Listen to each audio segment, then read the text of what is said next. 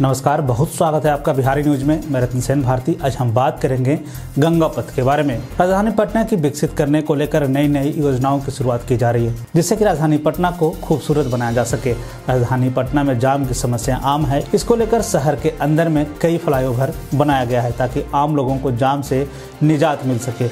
ऐसे में अगर आप राजधानी पटना के एक छोर से दूसरे छोर तक बिना शहर में गए जाना चाहते हैं तो इसके लिए भी एक बेहतरीन व्यवस्था की गई है। बता दें कि गंगा नदी के किनारे दीघा से दीदारगंज तक गंगा पथ परियोजना का लगभग काम पूरा हो गया है। मीडिया में चल रही खबरों की माने तो दिसंबर 2022 तक यह कार्य लगभग पूरा हो जाएगा। मीडिया में चल रही खबरों की माने तो दीघा के दीदारगंज तक 20.50 किलोमीटर लंबी इस परियोजना की एस्टिमेट राशि तैंतीस सौ नब्बे करोड़ की है। बता दें कि इसके तहत ए एन सिन्हा इंस्टीट्यूट के पास से गाय घाट, कंगन घाट होते हुए पटना घाट और धर्मशाला घाट के पुराने नेशनल हाईवे दीदारगंज तक यह एलिवेटेड रोड ग्यारह दशमलव सात ज़ीरो किलोमीटर तक जाएगी। ऐसे में यह कहा जा रहा है कि इस गंगा पथ पर बन जाने के बाद से राजधानी में एक छोर से दूसरे छोर, यानी कि पूरब से पश्चिम की ओर अशोक राजपथ पर वाहनों का दबाव कम हो जाएगा। गंगा पथ में मरीन ड्राइव के बीच में आठ जगहों पर संपर्क पथ को जोड़ा जाएगा।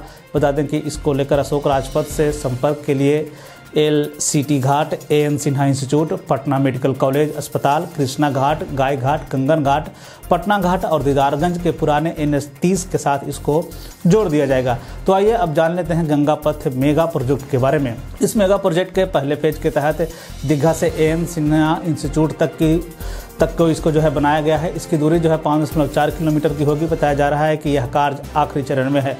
दूसरे फ़ेज़ के तहत ए एन सिन्हा इंस्टीट्यूट से पीएमसीएच के बीच में कार्य चल रहा है। बताया जा रहा है कि यह आखिरी दौर में है। इसकी दूरी जो है दो दशमलव पाँच किलोमीटर की है। कहा तो यह भी जा रहा है कि जून 2022 तक इसका कार्य जो है पूरा कर लिया जाएगा।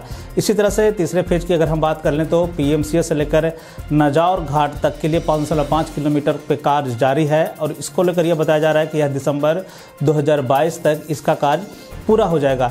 इसी तरह से चौथे चरण में जो कार चल रहा है, उसमें नजावर घाट से नसरुद्दीन घाट तक का कार जो है वो जारी है और इसकी कुल लंबाई जो है दो दशमलव पाँच किलोमीटर की है, जबकि इसका कार जो है मार्च 2023 में समाप्त होने की बात कही गई है। इसी तरह से मेगा प्रोजेक्ट का पांचवा फ़ेज़ जो है, वह धर्मशाला घाट से दीदारगंज तक का होगा। इसकी कुल लंबाई एक दशमलव पाँच किलोमीटर की है और इस मेगा प्रोजेक्ट का काम जो है मार्च 2023 तक समाप्त होने की बात कही गई है।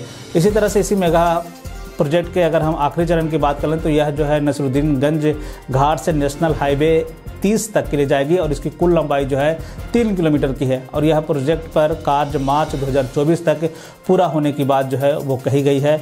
तो ऐसे में कई ऐसे घाट है के साथ साथ जो अगर हम मेगा प्रोजेक्ट की बात करें गंगा पाथवे की तो कुछ यानी कि तीन ऐसे प्रोजेक्ट हैं जिसमें कि दिसंबर 2022 तक पूरे होने हैं, कुछ के मार्च 2023 और कुछ के मार्च 2024 तक के लिए जो है ये प्रोजेक्ट जो है चलता रहेगा। तो ऐसे में ये प्रोजेक्ट अगर पूरा हो जाने के बाद से शहर के अंदर जो ट्रैफ़िक का लोड है, शहर के अंदर से जो लोग जो पूरब से पश्चिम जाना चाहते हैं या पश्चिम से पूरा आना चाहते हैं, वो जो है इस पथ को पकड़कर सीधा आसानी से शहर में बिना गए आप बाहर बाहर ही पटना शहर को पार कर सकते हैं। बिहार और बिहार से जुड़ी हुई और भी ऐसी खबरों के लिए बने रहें बिहारी न्यूज़ के साथ। मुझे दीजिए इजाज़त। धन्यवाद।